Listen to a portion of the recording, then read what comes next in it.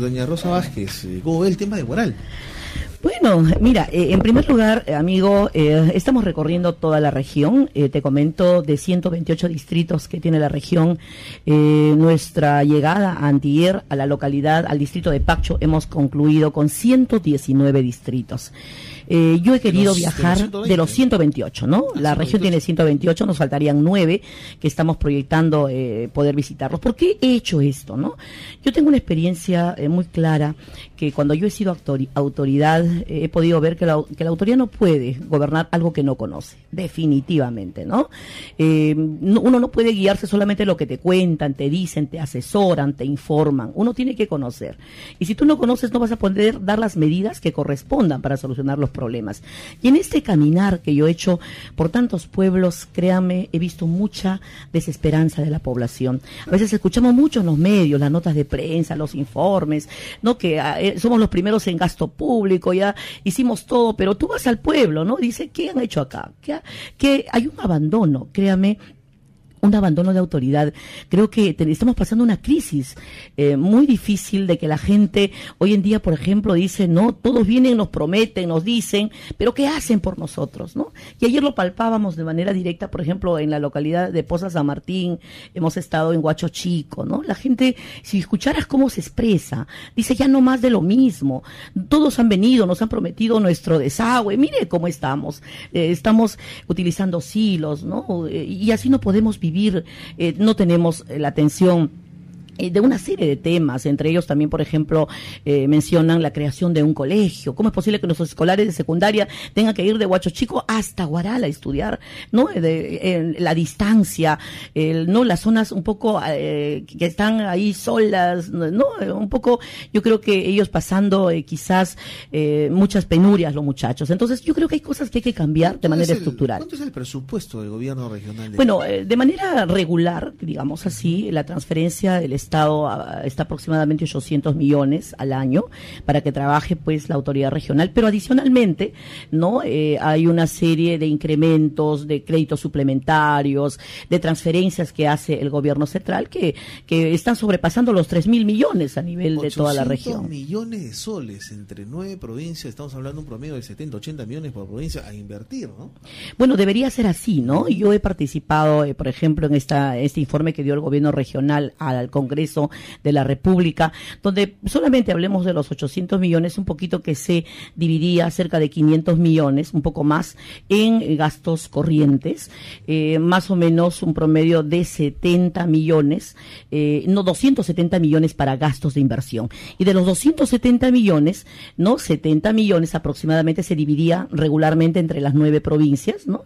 Para sus obras y los 200 millones, un poco que era ya la eh, digamos la decisión que tenía que tomar el presidente regional a dónde se destinaba para que para la población se entienda eh, si tú eres empresario es ilógico que destines más de la mitad de tu presupuesto para gastos corrientes no servicios temas de repente que no son de importancia inmediata, ¿no? O algo más o menos así entiendo. Bueno, eh, eso es la información, yo te hablo fidedigna, que nos dieron eh, en una reunión. millones es excesivo para gastos corrientes? Bueno, totalmente, ¿no? Inclusive en, ese, en esa reunión estuvimos todos los alcaldes provinciales, ¿ah? los nueve alcaldes. Esto fue en el Congreso, estaba el señor Cerillo, congresista, eh, un poco, bueno, el presidente regional actual también, y esa fue la información que se dio, ¿no? lo que sí yo creo, amigo, falta mucha presencia de la región. De veras, yo sé, más que todo te lo como autoridad eh, provincial que ha sido. Yo he sido alcaldesa 12 años. O sea, yo no eh, voy a hablarte un cuento ni te voy a decir lo que lo que se me ocurra, sino es lo que yo he vivido como autoridad. Falta la presencia, falta la inversión real y efectiva de la autoridad regional. ¿Cómo hacer presencia como gobierno regional? Bueno, hacer las obras, ¿no? Hacer las obras y tratar, como dice, de hacer más gastando menos. Mire, yo voy a aplicar de ser autoridad regional una forma de trabajo que yo lo he aprendido en 12 años de gestión. ¿Cuál es trabajar las obras a través de la modalidad de administración directa? Lógicamente, no voy a poder hacer el 100% en esta modalidad, ¿no? Por lo menos un 50% voy a hacer las obras que se tienen que licitar con eh, precios reales, precios justos y obras bien hechas dentro del marco normativo. ¿Por qué complicarse? ¿Por qué no hacerlo por contrata? Bueno, te comento, eh, cuando uno hace por la, administración directa, hay cosas realmente que, que, que, son muy buenas y beneficiosas. En primer lugar, la administración directa, ¿qué te permite? Porque esa es una, una forma que la ley establece también. ¿Qué te permite? Primeramente, ahorrar. Si una obra te cuesta a ti un millón de soles, a través de la administración directa lo haces por la mitad, aproximadamente, ¿no? O sea, 500 mil te cuesta la obra, que te lo haría cualquier empresa por un millón de soles. Segundo punto, tú tienes la facilidad de contratar gente de, allá de la zona, o sea, generar fuentes de trabajo, darle trabajo a ese poblador, a ese joven, a ese padre de familia. Tienes la oportunidad de darle trabajo de manera directa. Tercer punto, tienes la posibilidad, y, bueno, eso yo lo he hecho, de hacer convenios con la misma población, con las organizaciones, o con el alcalde del distrito, o con el alcalde de la provincia. ¿Para qué? Para que verifiquen, fiscalicen, que la obra sea bien hecha. O con el presidente de la comunidad. Bueno, lógico. Ellos están, ellos son los mejores fiscalizadores, ¿ah? No que no se pierda nada del material. Si tienes que poner a un almacenero, ponga uno de la población. Entre ellos se fiscaliza, no se te pierde ni una bolsa de cemento. Y lo que es más, inclusive yo lo he podido ver, ¿no? Cuando estábamos haciendo un, un, pavimentado, por ejemplo, la población iba y decía, no, tiene que tener mi pavimento 20 centímetros. Así me nos ha dicho la autoridad y acá tiene que ser. Iban con su winch y lo medían. Ah, no. Si está, está menos 15 centímetros, no, inmediatamente reclamaban. Entonces, ¿esto qué nos permite, amigo? Hacer una obra bien hecha. Y no lo que hemos visto, mire, con mucha pena yo le digo, y, y de repente solamente le menciono un caso, ¿no? Hay una obra en Yauyos, eh, la carretera de Magdalena a Yauyos, ¿no? Una obra que costó más de 5 millones el asfaltado. ¿Cuánto tiempo duró este asfaltado? Ni seis meses. ¿Cómo es? mire, usted vaya a Yauyos y consulte a la gente indignada. Dice, esto es lo que nos han hecho. ¿Cómo es posible? Entonces, de repente no ha habido supervisión adecuada, ¿no? Porque cuando uno hace con una empresa, la empresa hace, eh, y lógicamente el gobierno regional tiene que contratar a un, ingeniero supervisor, de repente no ha supervisado adecuadamente, de verdad no lo sé qué ha pasado, pero el tema es que, en consecuencia, la obra no, no duró ni seis meses. Esto no puede ser. Esto tiene que cambiar y se lo digo porque este caminar a mí me ha permitido conocer muchas provincias y no solamente mi realidad, yo mi realidad la conozco, pues eh, yo soy he sido más de campo que de escritorio. eh, Guarochile es uno de los eh, es una de las provincias que tienen la mayor cantidad de distritos, no cerca de 30 me parece. Eh, la segunda, la primera la tiene Yauyos, tiene 33 distritos con mucho difícil acceso, 32 distritos. Entre Yauyos y Guarochiri casi somos la mitad de distritos de toda la región, ¿no? pero que definitivamente eh, siendo tantos distritos, no hemos tenido la atención adecuada. Yo creo que, amigos, sinceramente, hay que sentar las bases de ese desarrollo. Y los pueblos altoandinos no van a salir adelante si no trabajamos carreteras. ¿Cuántos carros van al abismo? Yo a veces digo, no esperemos que, que, pasen, eh, que, que, realmente tengan un accidente familias nuestras de las autoridades para ponernos y decir, no, tenemos que hacer esto, ¿no? La carretera central pasa por Borochini. Sí, es una vía nacional. Hay una zona donde ocurren varios accidentes. Es una vía nacional. Vía nacional, así es. Claro, porque eh, esta vía nacional van muchos vehículos pesados al centro del país, que también hoy en día ha colapsado. ¿ah? Y nosotros hemos logrado, y te comento, a través de una gestión que hice el año pasado, aprovechando que el presidente de la República lo llevamos a Cayahuanca. A, no, ha sido la sede de dos, de dos lanzamientos nacionales en este proyecto de mi obra, de, mi tierra un producto. Cayahuanca fue el, el proyecto piloto. Aprovechamos en pedir al presidente de la República y decirle a través de un memorial que esta carretera central había colapsado. No puede existir y es muy peligrosa que haya doble vía, eh, no, en un solo eh, en un solo tramo de carretera, que se tiene que urgentemente hacer una vía netamente de bajada y otra vía netamente de subida. Y este proyecto nos han aprobado, ¿no? Desde Corcona hasta Matucana, un tramo bastante regular pero por algo hay que comenzar, ¿no? Entonces, yo creo que en ese sentido eh, es la única carretera buena que tiene Guarochirí de amplia, porque bueno, lo ha hecho el gobierno nacional por la inversión eh, tan grande que se necesita. Claro. Bueno, estamos con doña, Rosa Vázquez Cuadrado, ahora estamos con don Fernando Mora, hablando de servicios básicos. ¿Cuál es la articulación que va a hacer usted un momento al gobierno con Rosa Vázquez? Bueno, Juan Carlos, como lo vienes escuchando con Rosita, vamos a trabajar de la mano, vamos a trabajar unidos, vamos a contar con, la experiencia que tiene Rosa ya con 12 años de gestión municipal y con la experiencia que tenemos nosotros de, sector público, ¿no? Y, vamos a darle mucha fuerza a las necesidades básicas, ¿no? Necesitamos agua, necesitamos desagüe, necesitamos luz, necesitamos educación y sobre todo necesitamos seguridad para que las inversiones vengan a Guarán y poder generar grandes puestos de empleo, ¿no? Que es lo que más necesitamos, ¿no? Que la población se eduque para que pueda eh, acceder a nuevos puestos de trabajo y mejor remunerados, ¿no? El tanque de mi barrio es un proyecto muy interesante, muy importante, que va a suplir las necesidades en un corto plazo y también temporalmente mientras en el gobierno regional de Lima se elaboran los estudios técnicos. ¿no? ¿De qué manera van a articular esto con eh, Rosa Vázquez? Sí, lo hemos estado conversando con Rosita ayer todo el día, hemos estado caminando juntos y, y le estábamos, este, ya Rosita ya le habíamos informado también de esta propuesta, que es una propuesta inmediata, porque la población, la población necesita ideas inmediatas y soluciones inmediatas, ideas prácticas, ¿no? Prácticas y soluciones inmediatas, porque no puede ser posible que la población de diferentes sectores espere un año y medio a dos años hasta que se ejecute el proyecto, ¿no? La población no puede esperar más. Los niños, las madres, ¿no? Sobre todo por la salud, la higiene, y las madres necesitan eh, cocinar, necesitan tener agua fresca, ¿no? Lamentablemente vemos que las madres reciben solamente agua cada ocho días o cada doce días, y si no pagan el petróleo del carro de la municipalidad, no acceden a este servicio. Entonces eso no puede seguir pasando, Juan Carlos. Yo te lo he demostrado, hemos hecho números en el cual nosotros vamos a tener ahorro de combustible, vamos a tener ahorros de tiempo y vamos a dar soluciones inmediatas, ¿no? Y, no solo en eso, ¿no? Sino en, diferentes eh, necesidades que tiene la población, ¿no? Si bien es cierto, tienen necesidad de agua, pero también tienen necesidad de salud y sobre todo educación, ¿no? Ayer estuvimos, como, como te comentó Rosa, en Huachos y tienen una escuela pequeña y primaria y los chicos de, de 11 años para arriba tienen que viajar todos los días a Guaral y es un costo adicional que tienen en pasajes este, los padres de familia, ¿no? Es un, un presupuesto adicional.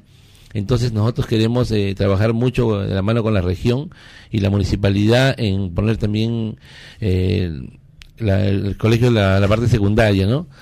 Para poder generar más este ahorro a la familia. También asimismo conversamos con ellos porque esta infraestructura en la noche no podemos dar eh, servicios técnicos, ¿no? Capacitar a la población para que tenga carreras alternativas, ¿no? Ya que hay muchos padres de familia que trabajan en los diferentes sectores en esa zona, como agricultura, como en granjas y trabajan todo el día. Pero en la noche yo creo que si ellos ponen un poquito más de esfuerzo se pueden superar. ¿Por qué no hacer carreras técnicas de electricidad, electrónica, eh, computación. Hay, hay tantas carreras que son viables, que son rápidas, que no necesitan mucha inversión, ¿no? Entonces queremos apoyar a la población en ese sentido, su colegio secundario y en la noche aprovechar las aulas. para Muy bien. Eh, hablando del tema de educación, eh, que está hablando don Fernando Mora, si bien es cierto, la municipalidad tendrá la mejor intención, pero la parte de educación, la parte de salud pertenece a la región. Así es pero necesitamos gente capaz, gente con experiencia, no que, no que sea afín al presidente o a la presidenta regional. Necesitamos gente que conozca políticas de salud, de educación. ¿Qué va a hacer usted para resolver ese tema? Eh, mire, yo en ese sentido eh, tengo las cosas claras que necesitamos gente competente, ¿no? Gente que conozca el tema. ¿Cómo lo va a hacer? Así es. Yo creo que tenemos que trabajar el tema de los concursos públicos y yo lo voy a hacer definitivamente porque uno no puede dejar eh, la conducción de una área tan importante como es la parte educativa y la parte de salud también, ¿no? en personas de repente de confianza, ¿no? pueden ser de confianza, pueden de repente tener otras habilidades, pero no son del tema. ¿No? En esa parte eh, yo he visto em, realmente con mucha preocupación lo que está pasando en tantos lugares, ¿ah? no yendo muy lejos a lo que ayer nomás visitamos, ¿no? ¿Cómo no puede haber por lo menos un centro de salud en un lugar que tiene más de mil pobladores, ¿no? O sea, eso no está bien, eso le compete directamente al gobierno regional.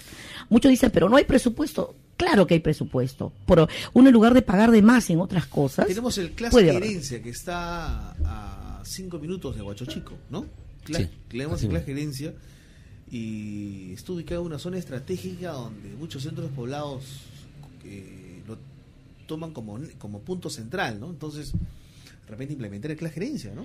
Claro, yo creo que buscar una solución Pero para eso necesitamos gente que conozca política de salud y eso se hace a través de concursos públicos. Claro, y, y lo que es más, tener la decisión política, amigo. Usted lo va a hacer. Por supuesto, o sea, acá la cabeza, quieras o no, y hay que ser bien claros, ¿no? la cabeza ordena eso sí, uno, yo he utilizado siempre esa línea, las cosas, la, parte eh, que te digo, los profesionales tienen que adecuarse a tu línea de trabajo. Yo quiero favorecer eh, a este poblado, Eh, pero mire, déame alternativas, pero quiero favorecer. Busque usted, señor funcionario, señor ingeniero, eh, en fin, profesional, busque usted las alternativas, pero ejecute este proyecto. Yo creo que acá hay que tener decisión política. Yo más que todo creo eso, ¿no? La decisión y la firmeza que tiene que tener una autoridad para que algo se ejecute. Muy bien, estamos eh, subiendo entonces, le estamos tomando la palabra a Rosa Vázquez Cuadrado, candidata por Unidad Cívica, cuyo símbolo es la cholita. Son las 7 con 50 minutos. Dos temas finales: seguridad e identidad regional. Vayamos por el último. Bueno, el tema de la seguridad ciudadana. Mire, yo he escuchado, eh, todo el mundo tiene ahora la varita mágica para solucionar el problema de la inseguridad en que vivimos. Amigo, hoy la inseguridad es la consecuencia de las, de las causas que la han originado. Ha habido causas, hace años se han estado empezando, no se han formado las necesidades diversas y hoy pues toda esa desatención en que ah, está culminando, ¿no? Está la consecuencia que hoy vemos, la inseguridad, el, alto índice de criminalidad que hoy la región tiene. Me he quedado totalmente preocupada. Han determinado a Barranca como una de los de las provincias más peligrosas de la región y, le sigue eh, Guacho, Guaral, y le sigue después Guacho y Cañete. Entonces esto tenemos que tomarlo de manera inmediata. Eh, nosotros... Eso significa que no hay una política de seguridad ciudadana. Yo creo que no. O sea, es que lamentablemente todo el mundo, eh, mayormente las autoridades, a veces trabajamos más para la prensa, para las notas periodísticas. Usted dice que son las consecuencias de años atrás. ¿Cuáles fueron los factores? Mire, uno que yo creo que tenemos que atacar con, aparte, aparte de, de, hacer, de trabajar articuladamente con la Policía Nacional, aparte de hacer la implementación que corresponde, no, aparte inclusive eh, de hacer, de poner cámaras, etcétera, que, que forma parte de un tema de implementación. Yo creo que aparte de ello hay que tratar el tema humano y el tema social. Yo de verdad soy una convencida. Aquí hay que comenzar, sí, hay que trabajar mucho y acá tenemos que estar unidos todos, porque el tema de la inseguridad nos afecta a todos. Acá tenemos que estar unidos y trabajar mucho con el tema de familia, ¿no? Comenzar, eh, se están perdiendo muchos valores en los hogares. Los niños crecen ya con otra mentalidad, mucho de repente, mucha libertad. A veces eso genera que ya los niños ya hasta no respetan a los padres vas al colegio y, igual manera, ya el profesor no es como que era antes, ¿no? Cuando estudiábamos, Dios mío, el profesor era acá un respeto único. Yo todavía, ¿no? todavía he recibido reglazos de Así Es. Y nos ha servido, amigos, porque un poco nos decían, tú tienes que subir a un vehículo y tienes que dar el asiento a la persona adulta, a la persona embarazada, al anciano. Entonces, hay que trabajar el tema desde casa. Cuando usted me dice del factor humano, volvemos al primer punto, ¿no? Importante tener gente que gerencie política de salud y educación. En educación, por ejemplo, ¿no? Tenemos hogares disfuncionales, el tema de salud, el tema de la planificación familiar, hay muchos embarazos no deseados. Por eso le digo, eso conlleva a hogares disfuncionales, eso conlleva muchas veces a que se forme el futuro delincuente. Claro, o sea, temas, pues, vuelvo a recalcar, desde casa, en el colegio, que regrese este curso tan importante que yo lo veo muy importante, el tema, el curso de educación cívica y educación familiar. Los chicos tienen que aprender valores también en el colegio. No, hoy en día... es difícil implementar ese curso? No creo que sea difícil, sinceramente, ¿no? Es un curso que se tiene que implementar. Acción política de la región, DREL, UGELES. Imagínate, se gasta dinero en, cosas vanas y por qué no hacer temas eh, tan importantes. Y también trabajar con los medios de comunicación. La región gasta eh, en, ¿qué te digo?, en temas periodísticos, eh, bueno, en publicidad, cerca de dos millones al año.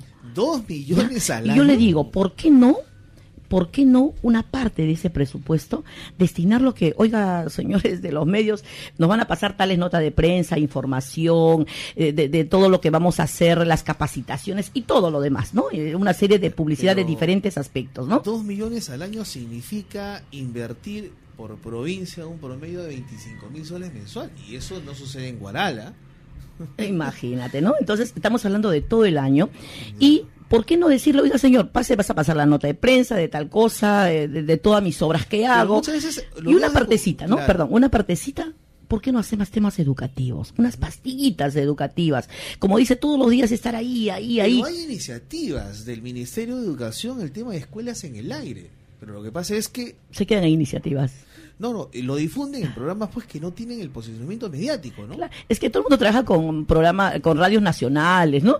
Y acá hay que hacerlo localmente, acá hay que hacerlo, hay que ir, por ejemplo, a, a, Churín y poner ahí, en ese programa de Churín, en esa radio, y poner para que toda la gente de la zona, ¿no? Pueda escuchar. O sea, un poquito descentralizar, ¿no? Este tema que yo creo es básico, amigo. Hablando de seguridad ciudadana, eh, Fernando Mora, propuestas de seguridad ciudadana. En la provincia de Guaral. Juan Carlos, como lo venía diciendo en programas anteriores, tenemos que trabajar de la mano con la Policía Nacional de Perú. Tenemos que dar la logística necesaria y capacitar a nuestros serenazgos y nuestra Policía Municipal, ¿no? Las cámaras de seguridad son importantísimas, pero que funcionen. Sabemos que acá en Guaral de repente hay 20 o hay 30, pero funcionan 6. ¿no? Entonces tenemos que trabajar que todas funcionen. Yo he estado eh, haciendo la propuesta desde el día que estuvimos conversando con el congresista, con Renzo Reyardo, de tercerizar este servicio para que estén funcionando los 365 días del año y las 24 horas del día.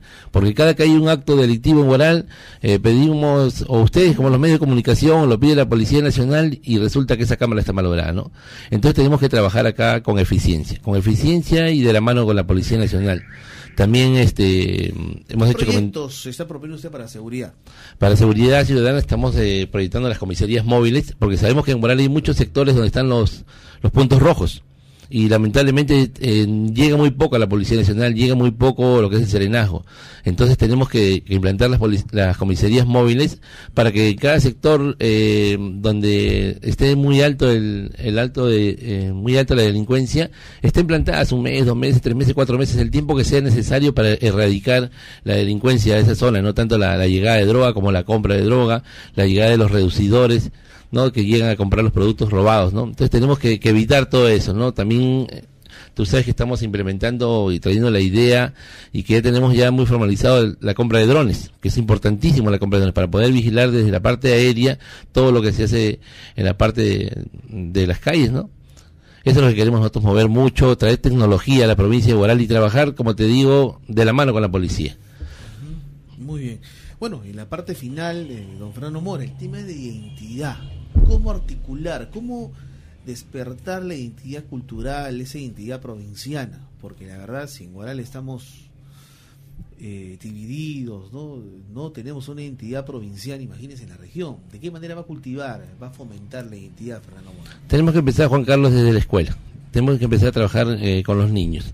Tenemos que ir aula por aula y trabajar con ellos esta identidad que le hemos perdido en Guaral Sabemos que, que han llegado a Guaral personas de diferentes partes del país, ¿no? Pero tenemos ya no tenemos una identidad propia, ¿no? Tenemos que, que tener una nueva identidad, trabajar mucho en ese sentido y como, como dice Rosita, ¿no? Con los profesionales adecuados en cada zona, como lo dices tú mismo, estas recomendaciones son importantes para ejecutarles nuestro plan de trabajo, ¿no? Muy bien. Doña Rosa Vázquez, el tema de identidad, Guaral no se siente identificado con Guarochirí, ni Cañete con Guaral, ni Guaral con Barranca. Bueno, ¿Cómo eh, fomentar la identidad? Bueno, eh, este tema de identidad es muy importante. Un poquito quería redondearte la idea eh, eh, hace un momento sobre el tema de la seguridad. creo que uno de los temas y las causas que vamos a atacar muchísimo es el tema de la generación de empleo. Los chicos cuando no hay empleo, amigo, eh, a veces eh, orientan su idea, su mentalidad hacia otros temas, muchas veces al margen de la ley. Y eso para mí es importante. Una de las causas de la inseguridad también es el tema del empleo, de la falta de empleo. Y a través de estos proyectos que, vuelvo a mencionar, de, la, de, hacer las obras a través de la modalidad de administración directa, nos permite generar empleo. Ahora, sobre el tema de identidad. Eh, yo sí soy muy regionalista, se lo digo, y de repente eso un poco es lo que demostramos a través de nuestro símbolo de la cholita ¿no? Uno tiene que valorar su origen, uno tiene que valorar el lugar de donde ha nacido, uno tiene que aprender a querer a la tierra que nos albergó, que nos dio, donde vimos por primera vez la luz del día. Y algo que yo siempre, eh, un poco que he criticado, eh, y siempre he dicho, ¿no? Yo creo que el alumno antes de aprender la historia del Perú y del mundo, tiene que aprender la historia de su pueblo, de su distrito, de su provincia, ¿no? Estar bien involucrado, no, Guaral tiene esto, tiene, no ofrece, tiene estas potencialidades, tiene sus productos emblemáticos. Es lo que hacen de repente en otros países. Yo lo he visto, mira, amigo, eh, yo, yo de niña, y te comento esto, yo me acuerdo mucho, en esa época, yo era muy niña cuando estaba Juan Velasco Alvarado, era presidente del Perú, me acuerdo, ¿no? Y habían todos los días, ¿no? A las 12 del día el himno nacional. Ahí, en, todas las radios. ¿no? Ni una radio se escapaba, porque era, era una orden, ¿no? Desde arriba, ¿no? De, Estado. ¿no? Todos los chicos en el colegio, pues, eh, amábamos nuestra tierra. De chiquito decíamos, vamos a entregar nuestra vida por nuestro pueblo, por nuestro país, vamos a defenderla. Esas cosas se han ido perdiendo con el tiempo. ¿no? Y, y de repente, en el nivel nacional, tendrán sus políticas, pero desde el nivel regional yo creo que tenemos que fortalecer el tema de identidad. Si yo, yo en Guarochirí lo he hecho, ¿ah? yo eso sí, ah, en Guarochirí no había eh, evento, eh, ¿no? Eh, o alguna ceremonia protocolar donde no se cantaba el himno guarochirano. Eso estaba instituido, era una ordenanza provincial. Inclusive eso llegó a los UGELES. Hoy en día la UGEL sacó también su resolución en todo, en toda ceremonia no educativa, el himno guarochirano es obligatorio. Segundo punto, yo no permitía, ¿no? Eh, que era, por ejemplo, el aniversario de tal distrito, primeramente tiene que salir a bailar su danza, la danza de acá, ¿no? Las curcuchas, las gualinas, todas las danzas que tenemos. Después, de repente, por variar, danza de cualquier otro lugar, ¿no? Otro punto. Otro tema de identidad que yo eh, sí creo, en la parte del deporte, ¿no? Lo que yo me preocupaba decía cuando, bueno, ustedes son varones, más saben de fútbol, cuando este salió el, el minero, el equipo minero a la profesional subió en el 2010. Entonces, de pronto, pues teníamos que tener un estadio para que juegue con la U, con la Alianza, con, el Cienciano.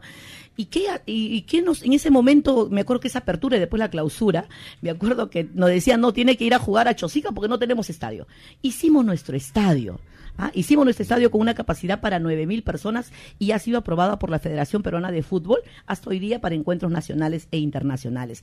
Pero lo que me di cuenta después que hice el estadio, que en el Atlético Minero no había un solo guarochirano todos eran de fuera, ¿no? Y de ahí comenzamos, instituimos, y hoy ya está creo que la sexta Copa Guarochirí, donde solamente juegan todos los chicos de los 32 distritos. ¿Quién capitanea todo? El alcalde del distrito, ¿no? La Copa Guarochirí y todos juegan con el DNI de su distrito, ¿no? Entonces, un poco, eh, yo creo que desde todos los campos uno puede atacar ese tema de identidad, eh, de apoyar a los folcloristas. Amigo, no, teníamos programas informativos nosotros y obligatorio se ponía la música de los artistas de Guarochirí.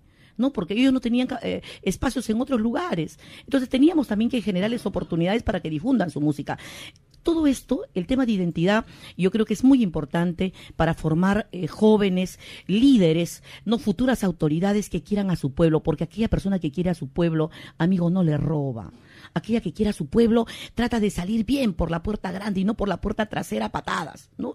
Uno que quiera su pueblo no eh, ayuda con, con corazón, no solamente trabaja para los medios, para la prensa, estoy haciendo este trabajo, vengan, la televisión no, uno trabaja de repente en silencio porque quiere, porque amas tu tierra, tienes ese sentimiento. Y eso hay que impulsarlo. Yo de verdad lo voy a impulsar desde el nivel regional, articulando con el nivel provincial y el nivel de las autoridades distritales. Muy bien, esperemos que no sea la única vez tenerla por acá, doña Rosa Vázquez. No, amigo, yo estoy a su disposición.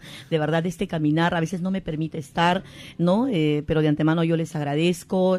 mis palabras son muy simples, muy sencillas, con la cual yo me dirijo a la gente. Hay mucho por hacer y más que tantas promesas, ¿no? Hay que empezar a trabajar, ¿no? Hay que empezar a trabajar y, y, a, hacer el cimiento de este verdadero desarrollo que todos queremos. No queremos seguir viviendo como estamos, tanto en la costa como en las zonas altoandinas. Bueno, Fernando Mora, palabras finales. Eh, Juan Carlos, muchísimas gracias por la invitación de hoy día. Muchísimas gracias, Rosita, por habernos acompañado. Eh, Guaral necesitaba escuchar eh, tu mensaje, tus propuestas y la experiencia que tienes, ¿no? Es por eso que hoy día hemos conversado poquito, nosotros hemos hablado poco porque queremos que la población escuche a Rosa, que escuche las ideas y la experiencia que tiene Rosita y a todos los vecinos de Guaral que nos apoyen este 5 de octubre marcando las tres cholitas en la provincia de Guaral y las cuatro para los distritos. ¿no? Muchísimas gracias Juan Carlos, muchísimas gracias vecinos de la provincia de Guaral. Muy buenos días. Uy, doña Rosa Agradecerte amigo, eh, realmente yo en Fernando tengo una gran esperanza para este, esta provincia que tanto necesita. Eh, yo creo que no solamente, eh, siempre hemos hablado con Fernando, trabajar con todos los distritos. Yo he tenido la oportunidad de subir a las partes altas y también no, no sienten la presencia de su autoridad. Y eso es lo que tiene que hacer Fernando, de llegar, de apoyar a todos los distritos. Yo siempre digo, no, yo de ser autoridad regional voy a ser como una mamá. Tengo nueve hijos y a los nueve hijos hay que atenderlos, ¿no? Y nadie puede ser entenado en, una gestión y creo que lo hará acá Fernando. Es una persona que no ha estado en política, pero lo hemos obligado a ingresar porque él ha dicho, yo asumo el reto. Guaral necesita cambios y hoy creo que la esperanza de muchos guaralinos. Muy pausa comercial, volvemos.